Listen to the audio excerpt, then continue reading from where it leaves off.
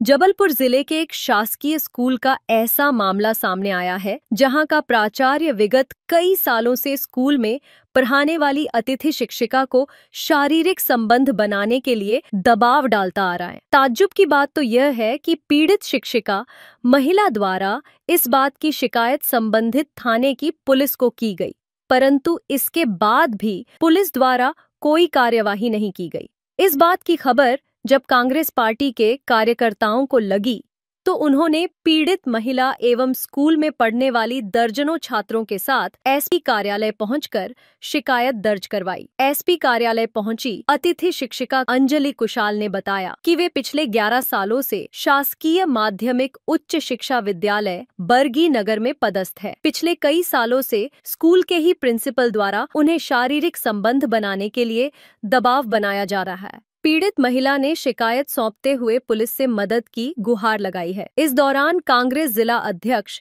सौरभ नाटी शर्मा सहित दर्जनों की संख्या में कांग्रेस कार्यकर्ता एवं स्कूल की छात्राएँ उपस्थित रहीं। बरगी चौकी नगर जो है हमारा वहाँ पर से जो है ये स्कूल के बच्चे आए हैं उनके साथ में वो जो स्कूल टीचर हैं वो भी आई हैं। उनका कहना है कि वहाँ के जो प्रिंसिपल है उनके साथ में जो है उनका जो है सेक्सुअल असॉल्ट टाइप की कोई बात वो बता रही हैं। इसके संबंध में पुलिस ने जो है सुबह ज्ञापन इन्होंने बरगी चौकी पर दिया था।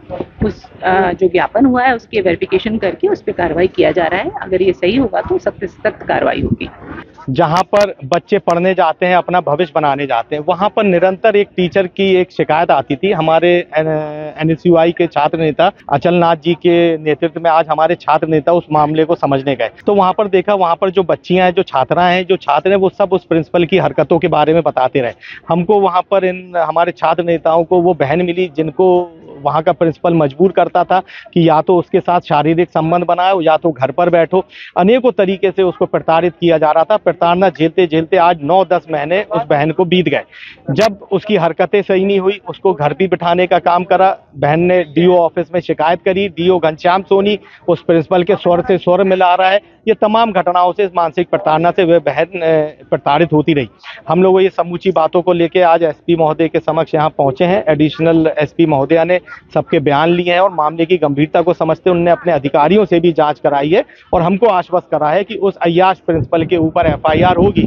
अगर इसके बाद भी एफआईआर नहीं होती है तो कांग्रेस पार्टी समूचे बर्गी में आंदोलन करेगी। उस अयाश प्रिंसिपल के घर तक घुसने का काम करेगी। अगर इस आंदोलन में कहीं हिंसा होती है इसकी समूची जवाबदारी पुलिस प्रशासन और डीओ की होगी। मैं एसपी कार्यालय आई हूँ और मैं बरगीनगर हायर सेकेंडरी स्कूल के प्राचार्य श्री कृष्ण रायखेड़े के विरोध में शिकायत करने आई हूँ जो वो मुझे प्रताड़ित कर रहे हैं। और मैं यहाँ एसपी मैडम और सभी से ये मांग करती हूँ की उन्हें तत्काल प्रभाव से निलंबित किया जाए ताकि उन पर जो भी कार्यवाही होनी है वो निष्पक्ष हो सके। ब्यूरो रिपोर्ट द लोक मंगज न्यूज़।